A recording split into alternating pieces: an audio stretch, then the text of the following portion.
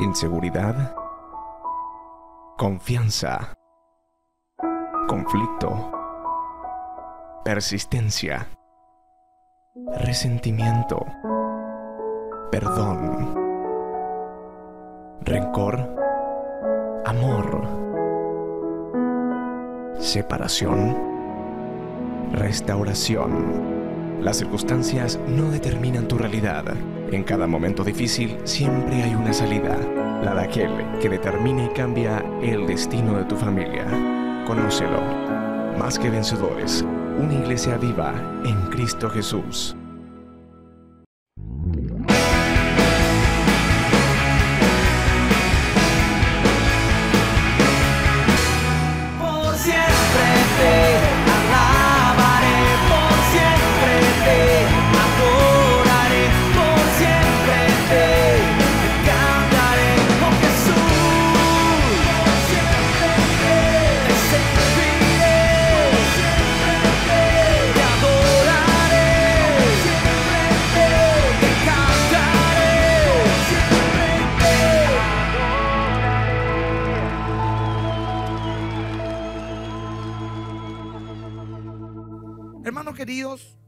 Quiero hablarles del temor y el reino de Dios.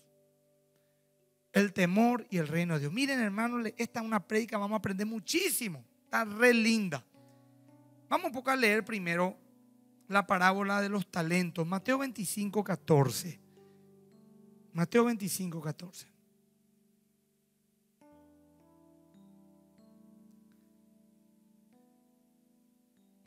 Dice la palabra de Dios. Porque el reino de los cielos es como un hombre. Bueno, ahí nomás ya vamos a arrancar con una cosa. Miren, el reino de los cielos es como un hombre. ¿Qué está, va a enseñar Cristo ahora en esta parábola de? Del reino de los cielos. El reino de los cielos. Porque también vamos a hablar del reino de los cielos.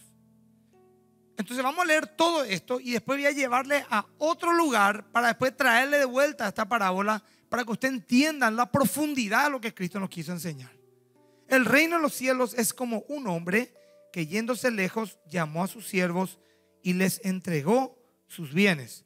Y uno dijo, y uno a uno dio cinco talentos y a otro dos y a otro uno y a otro y a cada uno conforme a su capacidad. Y luego se fue lejos. Y el que había recibido cinco talentos fue y negoció con ellos y ganó otros cinco talentos. Asimismo el que había recibido dos ganó también otros dos. Pero el que había recibido uno fue y cavó en la tierra y escondió el dinero de su señor. Después de mucho tiempo vino el señor de aquellos siervos y arregló cuenta con ellos. Y llegando el que había recibido cinco talentos, trajo cinco, otros cinco talentos, diciendo, Señor, cinco talentos me entregaste, aquí tienes, he ganado otros cinco talentos sobre ellos. Y su señor le dijo, bien, buen siervo y fiel, sobre poco has sido fiel, sobre mucho te pondré, entra en el gozo de tu señor. Llegando también el que había recibido dos talentos, dijo, Señor, dos talentos me entregaste, aquí tienes, he ganado otros dos talentos sobre ellos. Su señor le dijo, bien, buen siervo y fiel, sobre poco has sido fiel, sobre mucho te pondré, entra en el gozo de tu señor. Pero llegando también el que había recibido un talento, dijo, Señor, te conocía que eres hombre duro, que ciegas donde no sembraste y recoges donde no esparciste, por lo cual tuve miedo y fui y escondí tu talento en él en la tierra. Aquí tienes lo que es tuyo. Respondiendo su señor le dijo, siervo malo y negligente, sabías que ciego donde no sembré y que recojo donde no esparcí. Por tanto, debías de haber dado mi dinero a los banqueros y al venir yo hubiera recibido lo que es mío con los intereses. Quitarle pues el talento y darlo al que tiene diez talentos. Porque el que tiene le será dado y tendrá más. Y el que no tiene, aun lo que tiene le será quitado. Y al siervo inútil echarle en las tinieblas de afuera, allí será el lloro y el crujir de dientes. Bueno, entre las muchas cosas que Jesús vino a enseñar, gente, escuchen, le voy a enseñar doctrina, palabra, principios. Ustedes como cristianos deben de manejar la Biblia, deben manejar los principios bíblicos. Ser cristiano es conocer a Cristo, conocer a Cristo es saber su palabra. Y su palabra es la Biblia. No funciona cristiano que no conoce la Biblia. No existe abogado sin leyes, ni médico sin anatomía, ni, ni, ni físico sin números. No hay cristiano sin palabra. Entre las muchas cosas que Jesús vino a enseñar, hubo algo que para él era primordial y los voy a mostrar. Era enseñar sobre el reino de Dios. Él se identificó, Jesús, de una manera tan íntima con el reino de Dios, que dijo que el reino de Dios era él mismo. Fíjate, Mateo 12, 28 dice, vamos a manejar un poquito en el libro de Mateo 12, 28, dice algo muy interesante. Jesús dijo, escuche, dice Jesús, pero si yo por el Espíritu de Dios echo fuera a los demonios, ciertamente ha llegado a vosotros el reino de Dios. Si yo echo fuera demonios por el Espíritu de Jesús, ha llegado el reino de Dios. Ahora, los demonios, ¿qué hacen los demonios? Ata al hombre. La Biblia habla claramente en muchos versículos que una de las funciones del espíritu es, de los espíritus caídos es atar al ser humano. Con pecados, depresión, desánimo, ira, contienda, eh, decepción, pecados morales de todo tipo, concupiscencia, atan. Eso habla la Biblia. Entonces fíjense, dice Jesús que por el Espíritu Él echa demonios. Y el echar demonios es sinónimo de libertad. Una persona libre de, de demonios es una persona libre para hacer el propósito de Dios en la tierra, para cumplir su misión. Entonces, el reino de los cielos es semejante a un hombre que, ¿se acuerdan? ¿Por qué no produjo lo que tenía que producir, producir aquel último? Porque tuvo que, dijo, miedo. Y la Biblia dice, el temor pone lazo al hombre.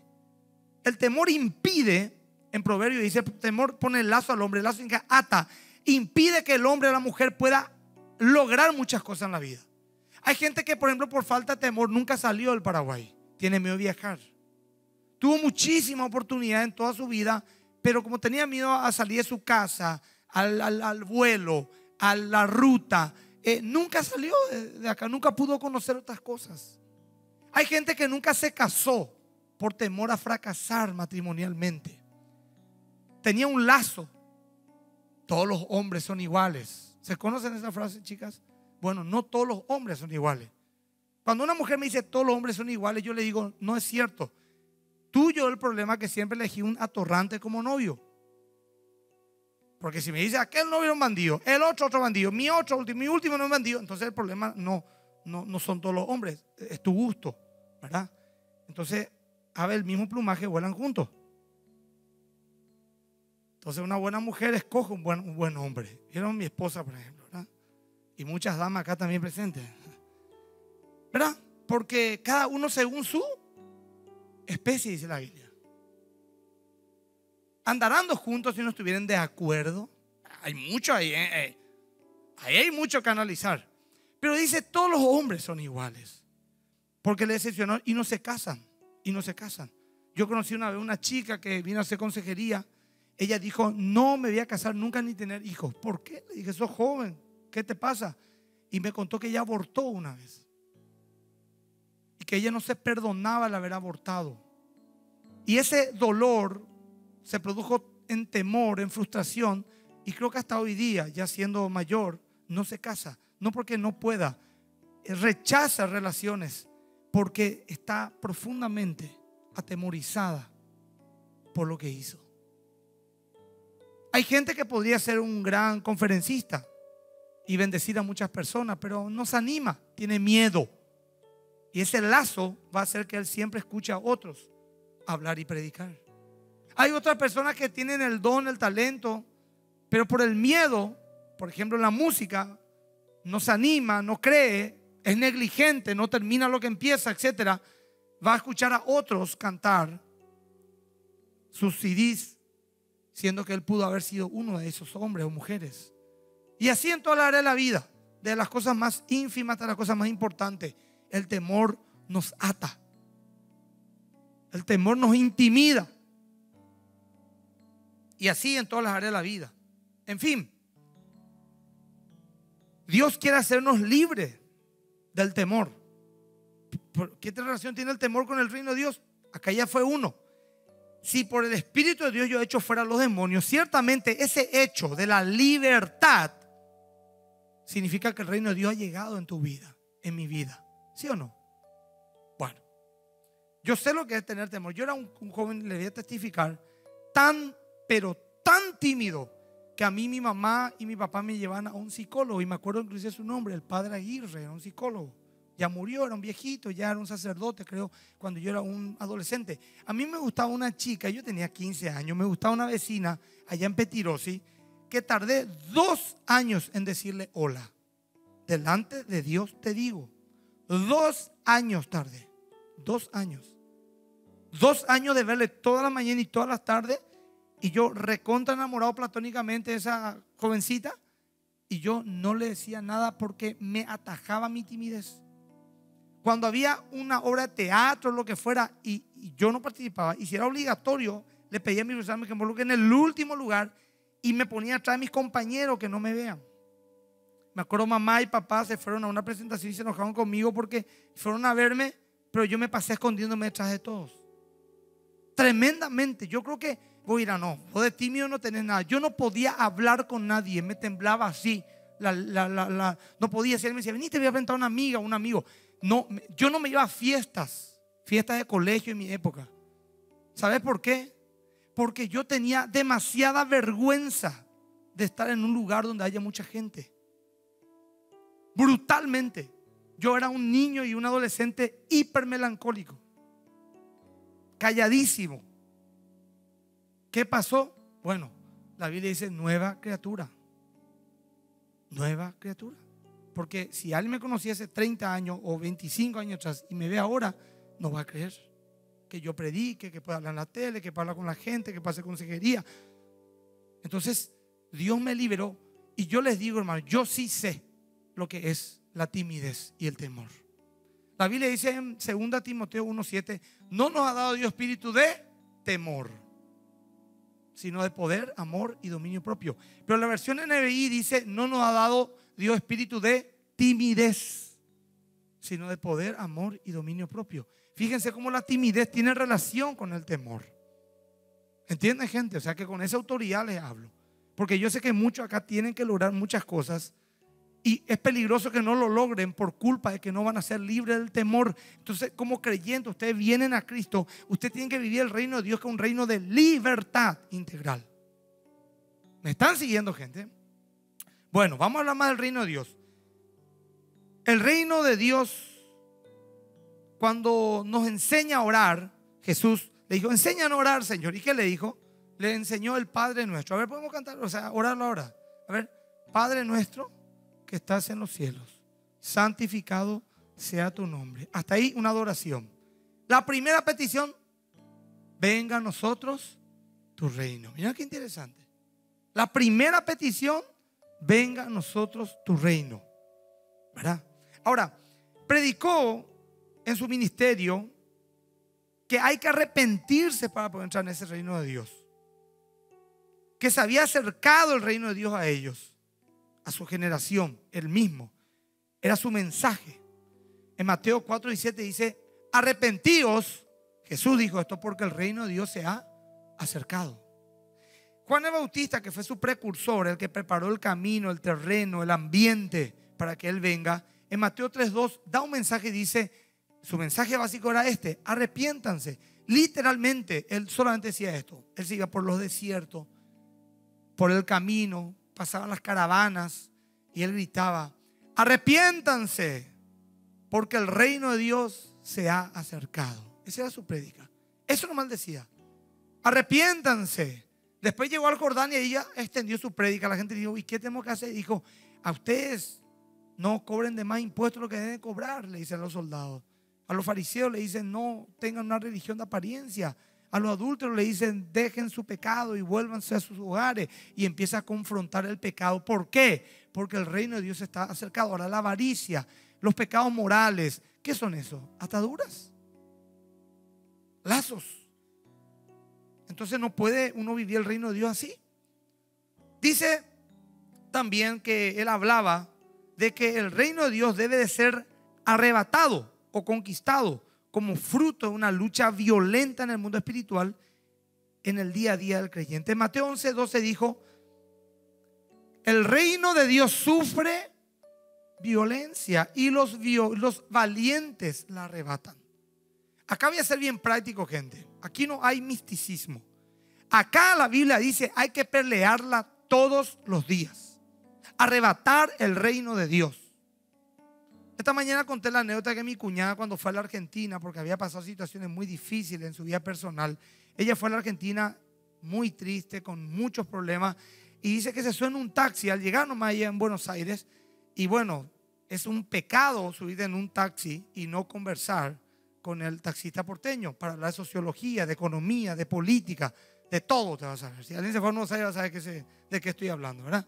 Te maneja todo, así como un señor y se sienta y le ve a mi, a mi, a mi puñada y ella dice, el tipo y le mira por el espejo y ella mira, y le mira al tipo por el espejo y ella mío, no entiende qué pasa y le dice, señorita, me disculpa. Ah, empieza la, charla, ¿verdad? Sí, sí, le escucho. Está un poco triste. ¿eh? Te digo, fíjate, Lampo, anda que el paraguayo te ha preguntado que estás triste. No, no, estás triste. ¿eh? Eh, sí, le dice, estoy con una situación. Ah, bueno, ¿Me permite decirle algo? Bueno, está, le escucho, Señor. La Biblia dice, Brin abrió su ojo. El reino de Dios sufre violencia y los valientes la arrebatan. Peléela, señora. Pero peléela, arrebate la bendición de Dios. Y, usted es un creyente, le dijo. Sí, yo voy hasta la iglesia. Y empezaron a hablar. Yo también, y brin, brin, brin y cómo Dios le puso como chofer a un hijo suyo para que le dé esa palabra. Y vos sabés que le activó de una manera. Ella dice, al mes ella le conoció a su al marido. Tiene una preciosa familia, tiene dos hijos preciosos, un hombre maravilloso. Cómo Dios la bendijo por ella. Dijo, creí. Vi la voz de Dios en ese hombre. Hablándome literalmente Dios, diciéndome, peleala, arrebatale. Vos vas a pelear, ¿sabes hasta cuándo vas a pelear? Hasta que te mueras. ¿Querés conocer a alguien que no pelea más? Andate al cementerio. Andate a un velatorio y acercate a la persona más importante de ese velatorio, el muerto. Y mira, y te vas a dar cuenta que ese ya terminó su faena, dice la Biblia. Pero mientras vos vivas, ah, va a haber algo para pelear. Es así la vida.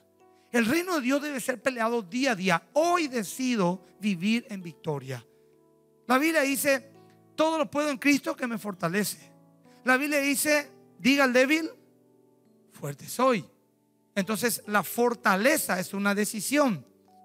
Diga al débil, fuerte soy. Declare eso. Yo soy fuerte. No voy a hacerle caso a mi estado de ánimo. Voy a caminar. Voy a creer. Voy a pelearla. Vos me dirás, pero muchos retroceden, muchos se desaniman, muchos están en depresión. Bueno, allá ellos. Porque Dios dice que no hay excusa. ¿Qué excusa le vas a dar a Dios? Señor, yo no pude. Todo lo puedo en Cristo que me fortalece. Señor, le temía al fulano aquel. La Biblia dice, Dios está conmigo, no temeré lo que me puede hacer el hombre. Eh, me acobardé. La palabra de Dios dice, fuérzate y sé valiente. Eh, no hay forma de ganar un debate con el Señor, porque su palabra que nos va a juzgar ya puso todas las soluciones en nuestras manos. Porque la santificación, la salvación es directamente por gracia y solamente obra de Dios. Pero la santificación es una cooperación entre el Espíritu de Dios y tus decisiones. Así de claro el tema. Hay gente que dice, no puedo olvidar el pasado. Y el pasado es de una persona. Entonces, yo le digo, ¿qué pasa si este muchacho tan bueno, que tanta bendición te trajo en tu vida, no puedo olvidarle, se muere hoy? Vas a irte a sentarte en una butaquita en el cementerio, vas a dormir ahí y vas a estar 30 años más al lado del amor de tu vida, mientras su cuerpo se descompone. Vas a llevarle ahí el muerto en un ataúd por el shopping y vas a agarrar una calavera, después vas a un acto con alambre dentro de 20 años. no, no, ¿verdad? ¿Qué vas a hacer si se muere el que vos más tanto amás? Aquel que tenés que dejar ya. Y si me, se muere, pastor, voy a tener que rehacer mi vida. Bueno, ese hombre o esa mujer o esa persona que ya no tiene nada parte contigo, está muerto. Tenés que seguir caminando. Tu situación anterior ya fue. Ya no hay más nada que hacer. Y eso voy a hablar dentro de un rato. Dice la Biblia de que hay gente que no es apta para el reino de Dios. Jesús dijo, hay gente que no le da el cuero no tiene los quilates, no tiene las agallas de vivir el reino de Dios. ¿Y quiénes son ese tipo de personas? Según él, en Lucas 6, 9, 62 dice, y Jesús les dijo, cualquiera que tomando el arado y mira hacia atrás, no es apto para el reino de los cielos. Y mire que somos expertos en mirar hacia atrás. Tenés 58 años y decís, cuando tenía 15, aquel mi primer novio, y ahí, eso arrastró toda tu vida, ¿verdad? Eh, mi reina, te casaste ya 13 veces, pero mi primer marido, y le traumó su primer marido, 13, 12, ya ella arrastró atrás eso. No. En algún momento vas a tomar que tener la decisión, decidir mirar hacia adelante.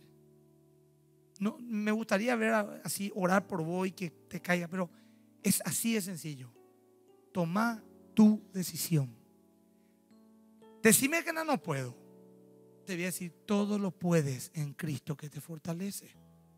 Decime no soy débil. Diga al débil, fuerte soy. Decime le tengo miedo a alguien. El perfecto amor echa fuera el temor. No es conmigo el tema, gente. Es con Dios. El único que me puede decir, ya acabé, ya no doy más, es el que murió físicamente. Pero después todos los hijos de Dios, todos, absolutamente todos, no tienen excusa. Y eso es algo, por un lado lindo, pero por otro lado desesperante. Yo a veces también digo, no, pero esto, pero aquello, dame un margen. No, no, no hay caso.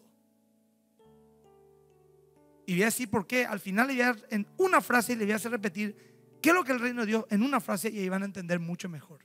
Pero necesito seguir con mi apología bíblica. La Biblia, Jesús nos enseñó también que el reino de Dios debe de ser una prioridad para buscarla. Primeramente, más que nada. Y que al buscar esto, las demás cosas se acoplan. ¿Qué dice en, en Mateo 6, 33? Buscad primeramente, ¿qué cosa? El reino de Dios. Y las demás cosas vendrán por añadidura. Entonces, ¿qué es lo que yo tengo que buscar primeramente? Hay chicas que se quieren casar y buscan primeramente un novio. No, vos tenés que buscar primeramente vivir el reino de Dios y las demás cosas vendrán por añadidura. Hay gente que quiere primeramente resolver su problema matrimonial y entiendo, pero el esposo o la esposa que está peleando su relación matrimonial debe decir, primeramente no tengo que tratar de cambiarle a nadie, voy a buscar yo el reino de Dios y las demás cosas vendrán por añadidura. Pero eso es una decisión. El que quiere restaurar su economía puede decir acá y aquí, voy a hacer un préstamo acá y allá. Está bien, cranea, proyectate, pero primeramente el reino de Dios. Voy a hacerlo todo bajo los principios bíblicos. Aunque te parezcan locos, ridículos, porque Dios va a dar una salida. Esa es la fe. Nos dijo también que no por ser parte de alguna religión entraremos en ese reino, sino que entraremos por hacer la voluntad del Padre. En Mateo 7:21 dice, ninguno que diga, no todo aquel que dice Señor, Señor, esa es la religión, profesa con su boca pero no la vive. Señor, Señor, entrará en el reino de los cielos, sino aquel que hace la voluntad de mi Padre que está en los cielos. Entonces, ¿quién entra al reino de Dios? ¿El que dé más que vencedores? ¿El que es bautista, menonita, presbiteriano, católico, romano? No. De eso también vamos a hablar en otra oportunidad, de la religión y la relación. Hay gente que tiene una religión. Hay gente que sigue los preceptos de una religión, pero no vive el reino de Dios, no vive una vida de libertad. Ahora, la Biblia dice que los verdaderos hijos de Dios son, ¿quiénes son hijos de Dios? Para decir primero. Amén. Más de la mitad de la iglesia viene por primera vez. Muchos no levantan la mano, ¿saben por qué? Algunos por Cowa. Ese es temor también. Cowa, el paraguayo es Cowa. Ese es pura cepa. Otra por ahí vos te vas, ¿qué tal? Participa. El paraguayo es el único que te paga 500 mil a por un congreso llega ahora y se sienta en el último lugar. En vez de ponerse en el primer lugar, llega en el último. Todo un idiosincrasia. Timidez. El paraguayo es tímido. Tímido.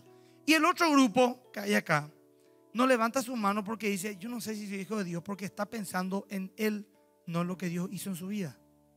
Está pensando en sus obras. Si es por eso, hermano, yo tampoco. Este micrófono va a flotar acá así. Va a predicarle, no sé, un espíritu, porque yo tampoco puedo predicar. Tengo muchos problemas. Pero entender la gracia. ¿Quiénes son los que han creído en Cristo, le entregaron su vida y la están peleando? Malo bien, sepárense que están. Bueno, ustedes son hijos de Dios. Bueno, amén. Había sido. Por un lado me puse contento, había tantos nuevos creyentes y ahora al final estamos en una reunión de santos acá. Pero en fin. Miren, gente. ¿Sabes qué dice la Biblia de vos? Que el Hijo de Dios es una buena semilla del reino. La buena semilla es enterrada, produce un árbol y el árbol da buenos frutos. No dice, vamos a leerlo, ¿verdad? Vamos a leer porque acá está lindo. Dice en Mateo 13, 38, ahí nomás está 13, 38, dice, el campo es el mundo, el planeta Tierra, ahí donde están todos ustedes trabajando, estudiando, yéndose. Dice, la buena semilla son los hijos del reino y la cizaña son los hijos del malo. ¿Sabes quiénes son los hijos del diablo? Esos que llegan y crean problemas, traen chismes, llevan comentarios, crean cizaña. Yo me pregunto a veces, mire hermano, yo es, una vez me leí a un predicador, John Mason, él dijo, yo me puse un lema en esta vida atender su lema. Nunca me olvido, 15 años atrás, en el libro, en un libro que leí de él, John Mason, un enemigo llamado promedio. Él dice, me propuse en mi vida dejarles a todos un poco mejor de cómo les encontré. Eso es brutal. Esa es su meta todos los días. Le encuentro a un amigo y por lo menos está reventado. Qué lindo tu botón, le dice. Por lo menos si no encuentra nada. Algo que por lo menos, gracias, algo hay gente que le busca, le da la vuelta y por fe por lo menos voy a decir que, que, bien te veo, no sé. Es tremendo. Nunca él te va a decir algo que te, por ejemplo, ay, estás gordo. No, no, no, nunca. Estás, te veo más viejo. A él uno le encontraba pedía y ¿por qué te pasó a vos? Te dice, sastre está, No, él no. Su meta es bendecir a la gente. Dígame si no es una meta tremenda. Miren, bueno, eh, mi meta como pastor es esto, en lo que puedo. Y lo he hecho. ¿eh? Yo a veces evalúo. A veces metí la pata, pero metí la pata, pero también hice bien las cosas. No hay un lugar, un lugar que te puedan decir, Emilio vino y se armó un desastre. Dejó un desastre este lugar, esta oficina, este negocio, este ambiente, esta familia. Y se fue el tipo, destrozó todo. Nunca por la gracia de Dios. Porque mi meta es bendecir a la gente. Sí, también meto la pata, me enojo, ¿verdad? De repente a alguien le bendigo, me salen malas cosas, me enojo, reacciono mal, pero nadie puede decir, Emilio no me bendijo. Sí o sí, pero sí o sí, me propuse no tomar un helado si no puedo comprarle a mi amigo también otro lado. Me propuse que cada cosa me sobre compartir con alguien. Me propuse que cuando vamos a hablar seriamente, vamos a decir cosas que edifican. Amor y verdad se corrige el pecado. Y me propuse que donde Dios me plante semillas, la semilla se planta bajo la tierra, me planta más que vencedores, el día de mañana me lleva como misionero en Turquía, me planta en Turquía, eh, me voy a un gimnasio, me voy a, un, a una universidad, me voy, yo tengo que ser de bendición en ese lugar. No es que yo llego y digo, ¡tan! Llegó la bendición. No. Pero ahí de a poquito voy ahí bendiciendo a la gente, le aliento, le doy una palabra de fe, le regalo un libro, una Biblia, eh, oro por la gente, eh, ¿verdad? Y, le, hablo, nosotros imposible que no, no bendigamos a alguien. Si tenemos lo más importante que es la palabra de Dios. Testificar, contar tu palabra. Proponete, porque la Biblia dice que los hijos del reino, de los que son libres, llevan bendiciones donde van. Es algo muy importante bendecirle a la gente. La Biblia dice más vale buen nombre que las piedras preciosas. Me acuerdo que una vez un, un amigo me contó que su papá murió. Su papá tenía mucha plata y murió por una enfermedad larga en la quiebra. Y su papá era un hombre poderoso en un momento dado, económicamente, un comerciante influyente. Y murió mal el tipo, mal, enfermo. Se quedó pobre. No era un multimillonario, pero un hombre que vivía bien. Y una dice que él se fue allá en la aduana a hacer unos trámites y se encontró con un señor y le dijo, vos no sos fulano de tal, le dijo. Sí, yo soy. Vos sos su hijo, sos igualito a tu papá. ¿Cómo andan ustedes? Le dice el tipo. Y bien, estamos, señor, peleándola. Aquí vine a hacer unos trámites. Te voy a decir una cosa, tu papá fue un gran hombre. Que mucho ayudó tu papá, digo. Yo estoy bien ahora. Cuando yo tenía tantos años, él me ayudó. ¿Sabe que mi hijo? Por favor, te pido. Acá está mi tarjeta. Visítame. Quiero ayudarte en lo que vos necesites. Y él estaba sin trabajo. Le dije, no, a publicación estoy bien. Mentira, estaban quebrados. Y se fue. Y ese hombre le enseñó todo lo que él hoy sabe en su profesión. Y es un hombre bastante bien puesto económicamente. Porque el buen nombre que dejó su papá le ayudó a él. No es que le vino a dar 500 mil guaraníes o un millón de guaraníes o 50 mil dólares para empezar. Él le sponsoreó, le pastoreó ese hombre. Porque no se olvidó que su papá era un gran hombre. Entonces el buen nombre vale más que las piedras preciosas. Así que si vos sos un hijo de Dios, un hijo del reino, proponete. Mira lo práctico que este mensaje es. Sele de bendición a la gente. Que tu prioridad no sea. Mira, yo la otra puse en Twitter. Servirle a la gente. Porque la gente necesita y te abre muchas puertas. Te abre muchas puertas, hermano. Te abre muchas puertas. A veces inclusive te sentí incómodo de tanta bendición. Te regalan, te bendicen, te premian, te llevan, te traen. Y vos decís, ya me siento incómodo, pero te dice, pero vos sos de gran bendición para mi vida. Entonces, bueno, amén. Propónganse eso. No significa no ser perfecto, van a meter la pata aquí y allá también. Y la persona que se queje de vos va a decir, este tipo, esta chica, esto, pero tengo que admitir, me bendijo, me ayudó. Falló en esto, pero me bendijo. ¿Sí o no, gente? Porque ese fue el reino de Dios. Buena semilla. Porque el que siembra cizaña, el que llega a un hogar y destroza, el que llega a una empresa y destroza, el que llega con un grupo de empleados y los corrompe, el que llega, es una, la Biblia dice, escuchen, político, empresario, influyentes, periodistas. La Biblia dice, sos el hijo del diablo. Hijo del diablo.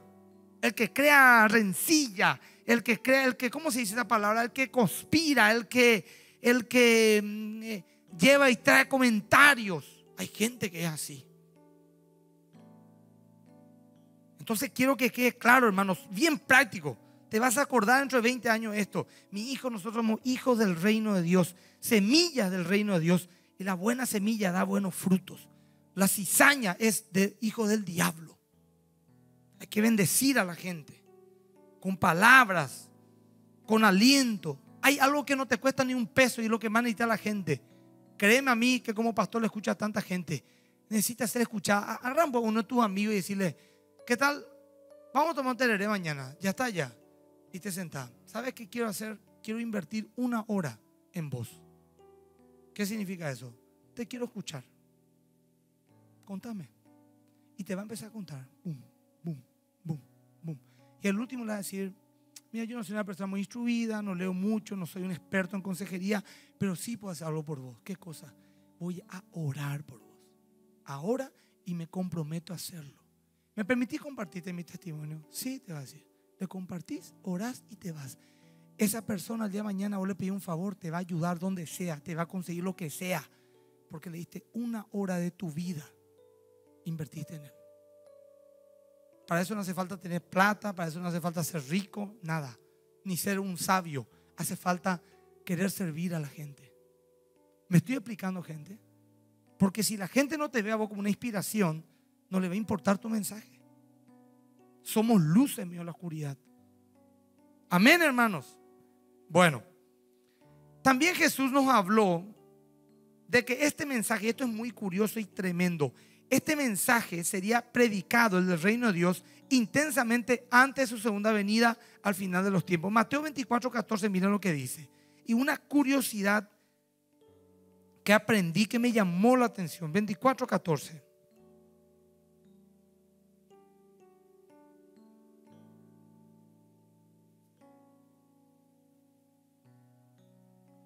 Y será predicado este evangelio del reino en todo el mundo para testimonio de todas las naciones y entonces vendrá el fin. Fíjense, Todas las señales del fin de los tiempos son malas.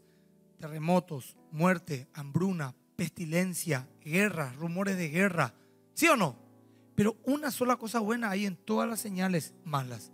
Que el reino de Dios será predicado intensamente. Miren, este tema de los medios de comunicación está apresurando la venida de Cristo. ¿eh?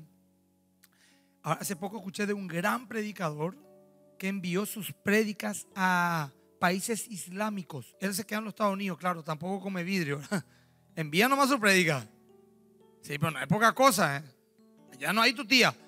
Y se llama Gracias para ustedes, se llama. Mensajes radiales entre los musulmanes.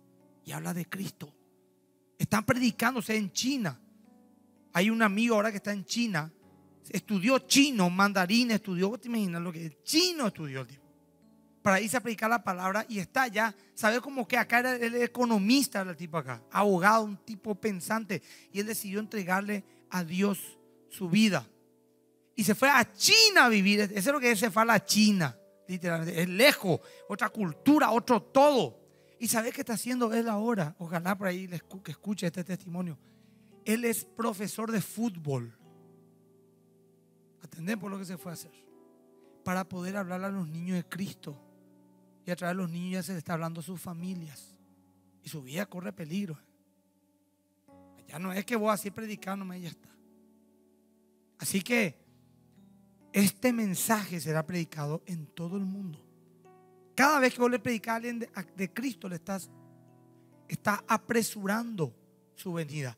La Biblia dice que cuando el último escogido crea, vendrá el fin. ¿Quién es el último escogido? No sé.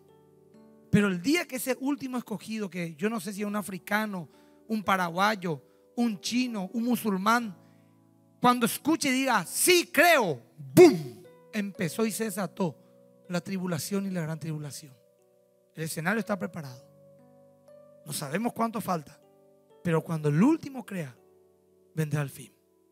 Cuando el último escuche. Al último, al último dice que el que no naciere de nuevo, no el que va a una iglesia, el que dijo una vez yo creo en Jesús, no, el que no naciere de nuevo no puede ver ni entrar en el reino de Dios. Juan capítulo 3. Hasta aquí, ¿qué tal estamos? ¿Bien? Importante el mensaje del reino, ¿verdad? Te dejo ahí el hilo, la punta del hilo para que vayan poco esta semana viendo la concordancia en tu Biblia, reino de los cielos, reino de Dios, y estudia un poco y meditar todos los días, porque este es el mensaje que va a ser predicado. Ahora, volvamos a la parábola, ya nuestra recta final. Acá vemos una enseñanza más que se refiere a vivir el reino de Dios. Y vamos a irnos en Mateo 25, 14. Dice, porque el reino de los cielos es como un hombre y vuelve a enseñar nuevamente qué es el reino de los cielos. Y aquí vemos la historia, le da uno cinco, a otro le da dos, a otro le da uno, el de cinco multiplica por dos, el de dos por, por 5 a 10, 2 a 4, y el uno va y entierra su don, su talento. ¿Por qué? Decir porque estuve, entonces ese hombre no vivía el reino de Dios. ¿Por qué? Porque tuvo el temor pondrá lazo al hombre. Tuve miedo. Fíjate, el reino de Dios o el reino de los cielos, ¿qué es? Al fin y al cabo, hablamos ya cómo entrar, quién no entra, quién es digno, quién no es digno, que es Cristo mismo, pero te voy a resumir de esta, manera y claramente, y repetí conmigo, el, el reino de Dios es el gobierno de Dios sobre mi vida. Porque el reino habla de una esfera de autoridad de un rey. El rey de España gobierna España, por decirlo de esa manera. El rey de Inglaterra, Inglaterra, el rey de Holanda, Holanda y así sucesivamente. Cuando vos salís de esa cobertura, ¿dónde entras? Al reino del otro. Salí ahí de, de una nación, pisás un metro de la frontera y ya entraba bajo la cobertura de ese rey. Por eso dice que nosotros fuimos rescatados. Estamos secuestrados. El secuestrado no está por su voluntad. Rescatado del reino de las tinieblas que tiene un príncipe. No dice rey porque Satanás, porque rey es Dios. Príncipe las tinieblas. Y vinimos al reino de la luz. Donde el rey es Cristo. Entonces el reino de Dios es el la esfera de gobierno de un rey. El reino de Dios es que vos vivas bajo el gobierno de Dios en todo lo que vos haces, siguiendo las pautas del reino, en tu moral, en tu concepto, en tu conducta, en tu arrojo, en tu valentía. El que no hace eso está engañado. Aunque venga a la iglesia, aunque yo mira, pero pastor, yo soy sincero, pero no me da el coro para superar mi pecado. Bueno, la Biblia dice que estás atado. Entonces dice el reino de Dios libertad. Ayuná, orá, busca de Dios, peleala a muerte. La Biblia dice, aún no habéis resistido el pecado hasta la sangre, dice. ¿Vos te imaginas lo que es resistir algo hasta que te sangre la nariz, el oído, de tanta fuerza? Hay gente que hace mucha fuerza física y resiste de una manera tal que, que, que, le sangra. Yo vi la otra esos levantadores de, de pesas y eso, ¿viste? Eso que. Y levanta. Vi en YouTube, estaba mirando y había un, chino, un coreano, sé que el récord mundial, levantó y tenía que sostener no sé cuántos segundos. Y levantó, levantó, levantó y de repente empezó a sangrar la nariz. Hay gente que tira la barra, cae y le sangra el oído porque de tanta presión que hace en su organismo explotan venas adentro y empieza a tener una hemorragia interna.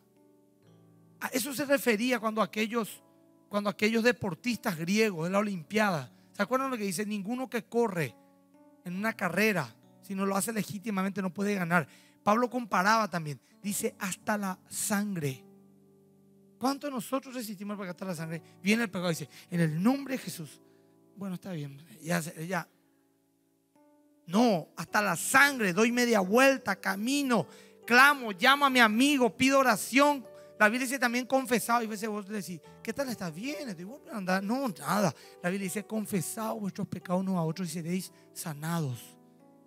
Hay una liberación en rendir cuenta. Hay una liberación en hablar. Hay una liberación en que alguien, al que alguien tenga una autoridad en tu vida de poder confrontarte. La gente no se congrega, la gente no ora, la gente no ayuna o viene. Un programa más el domingo a la iglesia. Y cree que así nomás la vida cristiana. Y la Biblia dice, muchos retroceden, muchos mueren y muchos se enferman. Porque no toman con seriedad la palabra de Dios. Estoy siendo muy claro, hermano. Miren, hermano, yo estoy, voy a Pastor, siempre sí, eso sí, pero yo estoy orando ahora en serio. Señor, que le entre esta palabra, porque mire, hermano, necesitamos estar serios en las cosas de Dios. Necesitamos vivir realmente la palabra de Dios. Estamos, hermano querido. Miren lo que dice acá. Así como que el reino de Dios es el gobierno de Dios sobre tus vidas. Es vivir en el reino de Dios, es vivir bajo la cobertura de Dios. O sea, dentro de la esfera de gobierno del rey de la santidad. La Biblia dice que ser ciudadano del reino es ser una persona libre. Libre ¿por qué? Porque Jesús dijo, si por el Espíritu hecho fuera demonios, el reino de Dios se ha acercado. También libre porque vemos la palabra dice que el reino de Dios como un hombre que, y habla la palabra de los talentos, donde dos fueron libres y uno fue esclavo. Y en ese se centra la moraleja. También habla en Gálatas 5.1, Gálatas 5.13, que por precio fuimos comprados. No nos hagamos esclavos de nadie, ni de los hombres, ni el que dirán. Seamos libres. ¿Y sabe quién es libre? Aquel que nada debe. A mí, por ejemplo, me quita libertad cuando yo, por ejemplo, me enojo con alguien, hablo mal de alguien y después me encuentro con ese alguien. No le puedo saludar bien, no puedo fluir, ¿verdad? Pero cuando yo tuve el control Dice la Biblia que el que gobierna su lengua es un hombre perfecto, que ya puede dominar cualquier cosa. Dice la Biblia que el que, el que domina su carácter, dice que es más, más que aquel que conquista ciudades, más que un eh, emperador. Entonces, por ahí alguien dice, fulano esto de vos, y me engano dijo esto de vos, y vos te callás con prudencia, así, vamos a bendecir al hermano, pa, pa, pa. Y después te encontrás con esa persona en una cena, en un acontecimiento, decime si no te sentías así con autoridad, ¿verdad? Como que vos tenés el control y el otro así te mira ahí. Y vos así, ¿qué tal? ¿Cómo te va? Mucho gusto. Te queremos sentar cerca, ¿lo? porque da gusto, ¿lo? ¿verdad? Porque como que tener auto. Bueno, eso es libertad. Eso es libre. Libre, no soy esclavo de nadie. Hay veces que yo me sentí esclavo porque de repente me salió un disparate, no de repente, muchas veces acá el púlpito y me voy y digo, ay, como lo que dije, eso no puedo. Entonces puso lazo el enemigo en mí. Pero cuando yo predico la palabra, estoy centrado en Cristo y fluyo en el mensaje del Evangelio, yo me bajo y me dicen algunos, fulano se enojó porque dijiste esto, fulano escribió en Facebook tal cosa. Y yo digo, si fue un disparate que dije, me siento re mal. Pero si fue por el mensaje del reino que yo hablé, entonces hasta, wow, me está haciendo publicidad, me siento bien. Entonces es importante que vivamos en la libertad del reino de Dios. Es importante no tener vergüenza. El que nada debe, nada teme, dice la Biblia. Bueno, no sé si dice la Biblia, pero un lindo... Sí, porque de repente pues lo aplicamos nomás ya para que tenga más peso. No, la verdad, eso dice la Biblia o no. No sé si alguna versión dice que no. No, porque mira, la Biblia dice no agregues nada, ni le quites nada. Ah, perdón. La libertad, miren, escuchen, y ahí voy terminando, me indican cinco minutos de queda pastor. La libertad, que la libertad es la capacidad de decidir y en esa capacidad elegir lo mejor. Libertad es yo tengo dos opciones, no una, tengo dos y elijo. ¿Elijo los vicios o elijo la libertad los vicios? Hay gente que tiene el vicio, vicio, vicio y dice, yo soy libre porque puedo tener vicio, vos no. No. El que tiene vicio, tiene vicio. El que es libre dice, hay vicio, hay libertad. A ver, ¿qué escojo? La libertad. Porque el vicio me contamina, el vicio me enferma. Yo me acuerdo cuando me operé por el tema que yo tenía problemas para tener hijos. El doctor me dijo, mira, te hicimos bien, la operación salió bien. ¿Cómo está tu alimentación? Bien, me gusta comer bien. Hace ejercicio también, soy un deportista. Fumás, no fumo. Tomás, no tomo. ¿Alguna vez tuviste enfermedad venérea? Nunca tuve enfermedad venérea. ¡Wow! Me dijo el tipo. Espectacular, me dijo. Y ahí le tuve que testificar. Le dije, yo soy pastor, le dije, para que no tenga un mal concepto. No, soy un pastor. Ah, con que sí, me dijo. Ah, bueno, menos mal. Anda tranquilo, Gerard. Tu organismo te va a responder, me dijo. Y me respondió. Tres ya tengo, tres pruebas tengo ya. ¿Por qué? Porque, porque me acordé cuando entré en el ejército y todo el mundo fumaba. Yo era el único bomba que no fumaba. Porque yo dije, tengo que agarrar el metí en mi boca así. Y toser. Y me da mal. Me da, pero tengo que hacer hasta que me guste. Y después que me gusta, ya me aferro a él. Voy a gastar mi plato, voy a perder la salud, voy a tener un yuruné jefe. Todo junto viene el combo. ¿Para qué pico? calculé, una cajetilla vale tanto. Por uno por día, 365 por 40. Cuando yo tenga 57 años, puedo comprarme dos autos por este monto. Y eso que no cuento lo que voy a gastar por toda la enfermedad que tengo. Y empecé a pensar, o sea, pensé nomás. Los otros no, los otros. ¿Entendés? De esto a lo mejor me arrepiento después, pero ya dije.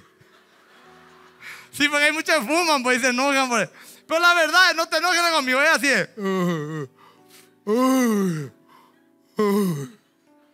Porque hay que estar loco. Perdón, hermano. Pero a libertad le llamó el Señor, van a poder superar. Van a poder superar. Bueno, está bien. Continuamos. La libertad, entonces, yo tengo jóvenes que están aquí, los que vinieron del campamento. La libertad, yo tengo libertad de elegir y elijo qué? Lo mejor ahora. Yo soy libre y elige lo peor. No, libertad es yo soy libre y elijo lo mejor. Porque yo soy un hijo del reino. ¿O no, gente? Miren que hay chicos acá que en 5 o 6 años van a estar casados ya. Y hay que hacer bien las cosas. Hay algunos acá que tienen que restaurar su matrimonio. Hay gente acá que tiene que restaurar su economía. Porque este no es el final de tu historia. Si estás vivo, Dios te está dando una oportunidad. Continuamos rápido, gente. Jesús nos habló también que la libertad no es un qué, es un quién. O sea, uno no tiene libertad, sino que uno es libre. Amén.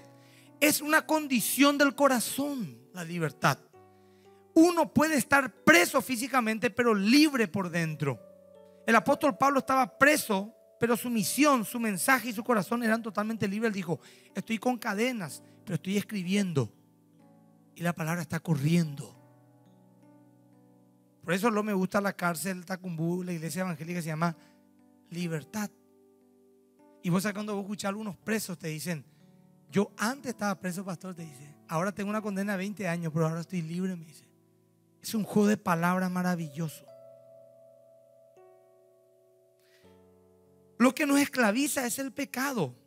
La Biblia dice, ¿qué nos esclaviza? Los celos. Espíritu de celos, dice Isaías.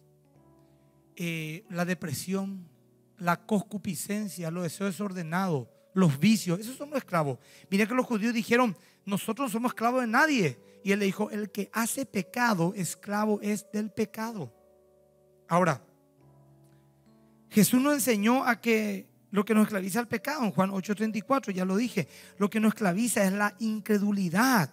Y de esta incredulidad viene todo lo demás pecado, pues la fe es quitada y el filtro ya no funciona y viene la inconstancia, el orgullo, la depresión, el desánimo, la ira, el rencor, la ansiedad, los celos, la mentira, la concupiscencia, el temor mismo. Segundo Timoteo 1:7, 1:7 dice, porque no nos ha dado Dios espíritu de cobardía, sino de poder, amor y dominio propio.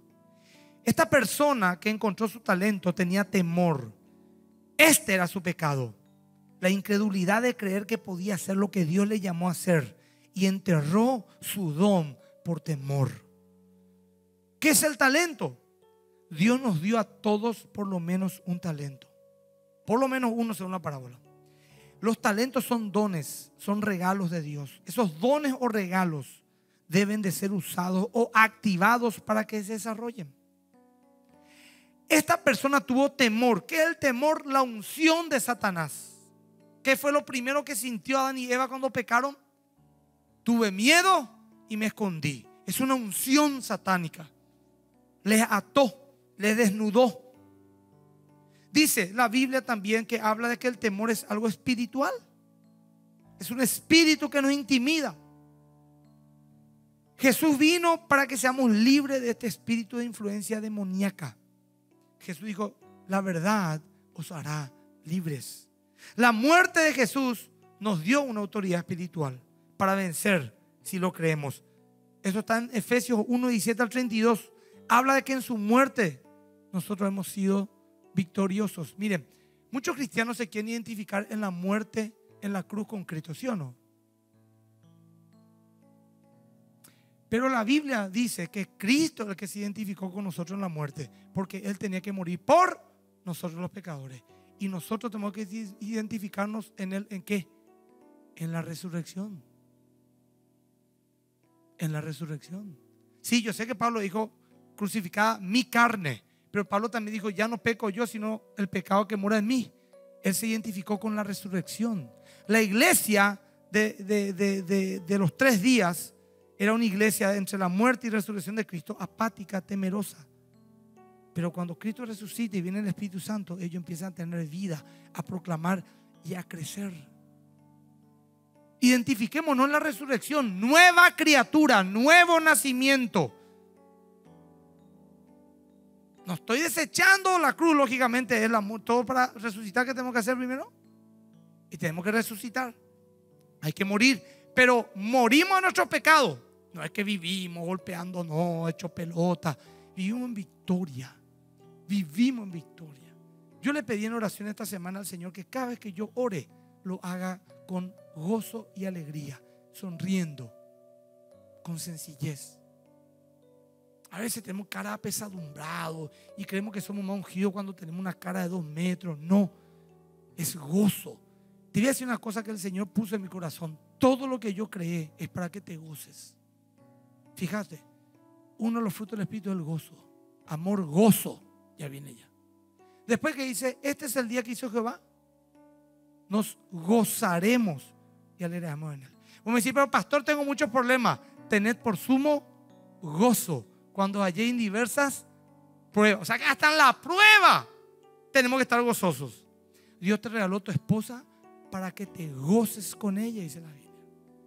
Dios te regaló tu marido para que te goces con Él. Te dio tus hijos para que te goces con ellos. Te dio tu trabajo para que te goces en Él. Te dio salud para que te goces. Todo es para que te goces. Pero ahí está la sociedad, vendiendo más con la desgracia, vendiendo más con la mutilación, vendiendo más con la enfermedad que, que con qué. Ya dijo Twitter, Twitter no yo. Pues Twitter tiene más peso que la Biblia muchas veces para muchos. Los creyentes cristianos son más felices que los que no son creyentes. Dos millones de Twitter estudiados. Y los cristianos, gloria a Dios, este es el día que dice el Señor, aleluya, Dios le bendiga a todos, fuerza muchachos, el Señor es la victoria y de Él, ¿de dónde vendrá mi socorro? Y los otros estamos hechos pelota, andate, pi, pi, pi, y toda la rosería. Créanme, mi hermano, créanme que esto no miente. Créanme.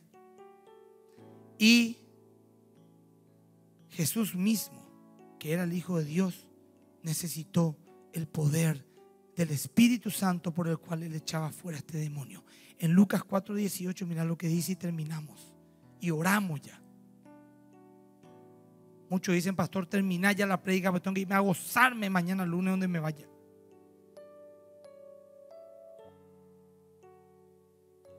Lucas 4, 18. Aleluya. Oramos, ahí leemos, dice, ¿quién quiere ser lleno del Espíritu Santo? ¿Quién quiere? Levanta la mano en serio. ¿Para qué? Porque Dios siempre tiene un propósito. Para esto envió su Dios al mundo a su Hijo, dice. Porque tal mandó era Dios al modo del mundo que Dios siempre hay un propósito, siempre hay un para esto. La gente quiere ser llena del Espíritu Santo. ¿Para qué? Es mi pregunta. Te voy a decir para qué. La Biblia dice aquí. El Espíritu del Señor está sobre mí. Esto dijo Jesús. Por cuanto me ha ungido para dar buenas nuevas a los pobres. Me ha enviado a sanar a los quebrantados de corazón. ¿Quién conoce gente quebrantada el corazón en su trabajo, en su barrio, en su casa? ¿Quieres ser un ungido? Ahí tenés trabajo.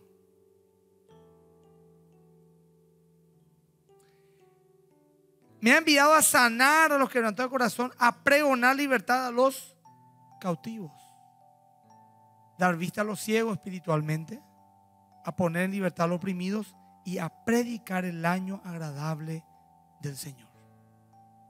Para eso vos tenés que ser ungido por el Espíritu Santo.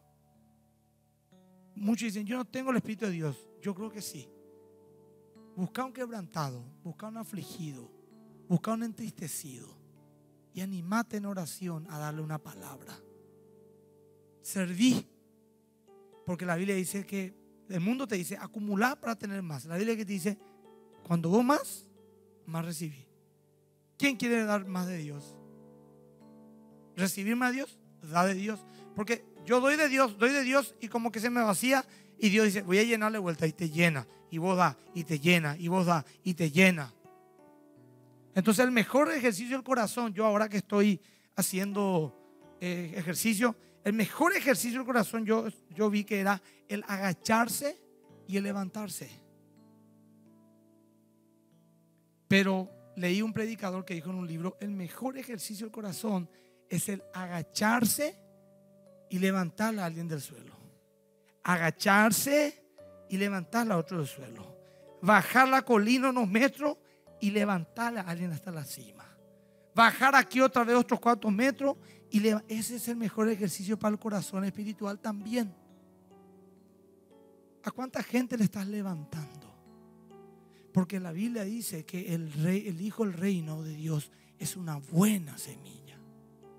Hermanos, mira, tan práctico este mensaje. Haz esto y vivirá, dijo Jesús. Estamos gente. Hay gente que está medio triste aquí.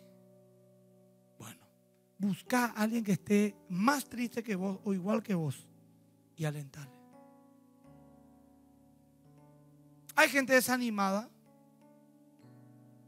Bueno, busca a alguien que esté más desanimado que vos y alentarle. Hay gente que se siente débil. Levante su mano, por favor. Diga al débil. Es tu guerra, peleala. Yo no puedo pelear por vos. Yo puedo estar hasta en el ring. Yo era kickboxista y voy a entrar en el ring. Hay 1500 personas afuera, pero ni uno pelea contigo. Vos estás solo con el morocho ese. La gente abajo es, ale, ale, ale. Pero hasta ahí. Pero vos tenés que pelearla. A veces ligar y le ve ahí a tu socio, tu ojo ahí con un lado nomás y tu socio dice, ale, imprime ahí, quita fuerza. Pero vos la papá. Es tu guerra, es tu pelea, como dijo, ¿cómo se llama? Rambo. Es mi guerra, de hecho pelota. Su guerra es, papá, tu guerra es. Yo le digo a Rogelio, le digo, es duro lo que está pasando, Rogelio, pero es tu guerra, papá. ¿Qué vamos a hacer? El reino de Dios. Porque te repito, esto no es tu fin. Esto no es el final de tu historia. No. Yo me niego a creer eso. Yo no sé la condición de cada uno de ustedes, pero es, grosso lo que voy a decir. Yo voy a dar cuenta de lo que digo. Pero yo creo que en este momento no hay ni una persona acá en el mundo espiritual que yo crea que diga, ya este es su fin. No creo. Me da la impresión de que todavía hay mucho que caminar. Y la Biblia dice que los violentos, los valientes la arrebatan. Quiero orar contigo, hermano, con humildad. Vos vas a orar. Yo quiero que aprendas a depender de Dios, no de mí ni de la gente, de Dios. La Biblia dice que esté afligido, haga oración. El que esté contento, canta alabanza. O sea, dependa de Dios, porque vos sos un hijo del reino. Si le tenés a Cristo en tu corazón. ¿Te puedes parar, por favor, mi hermano? Wow, nueve menos tres minutos.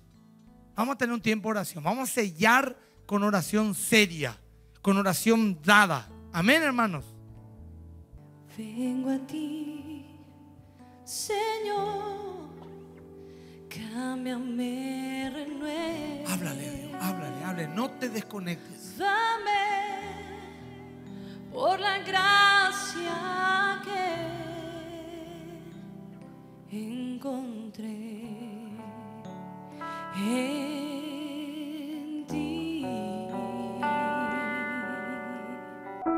Inseguridad.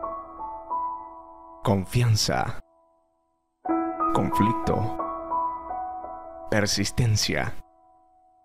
Resentimiento. Perdón. Rencor. Amor. Separación. Restauración. Las circunstancias no determinan tu realidad. En cada momento difícil siempre hay una salida. La de aquel que determina y cambia el destino de tu familia. Conócelo. Más que vencedores. Una iglesia viva en Cristo Jesús.